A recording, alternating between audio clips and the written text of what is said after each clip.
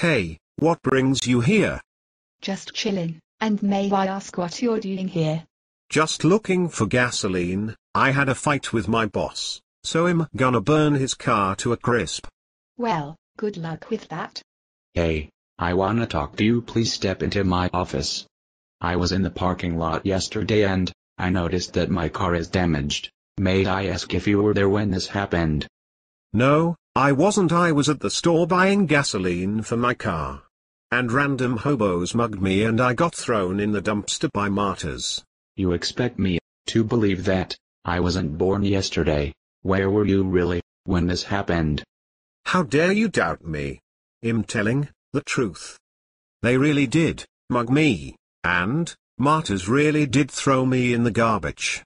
You're stepping on hot lava. Now tell me what really happened. I was chewing tobacco, and I saw sea monsters drowning the deaf. So I dressed up like Superman, and helped the deaf. You expect me to believe that you got a sick mind. Now tell me the truth or I'll call security and they'll throw you out. You don't believe me, alright here's the real story. I was in Thailand and ninjas stole my pants. So they tried to eat me alive, and I escaped and monkeys stole my wallet. You're starting to get on my nerves. Now tell me the truth. Alright it was dark and I was stranded in the middle of nowhere, and was attacked by crazy nuns.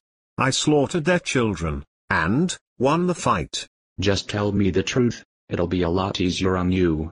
Alright, it was bright and was attacked by alien Nazis. I escaped and broke their dirty cage. And got back here. Alright, you owe me a lot of dough, if you keep telling me lies, then you're gonna owe more, so just keep it up. Alright, I was in a hut in India and was captured by ghosts. They tortured me with a flaming sword. And tried to dice me up. And I cast a spell on them, but destroyed, Mickey Mouse. Okay, I'm getting tired of your lies tell me the truth please.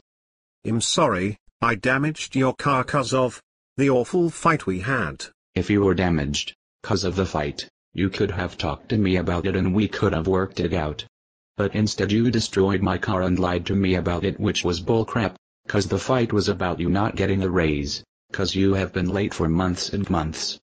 And that's not acceptable so I'm sorry, I'm gonna have to let you go, you're fired, and you owe me 40 grand, for the car cause you lied to me. Okay bye. I don't need you, you're just a stupid moron, and a sorry excuse for a human being. So I'm gone. Good day sir. I'm glad that's over, I'm gonna go watch TV, goodbye.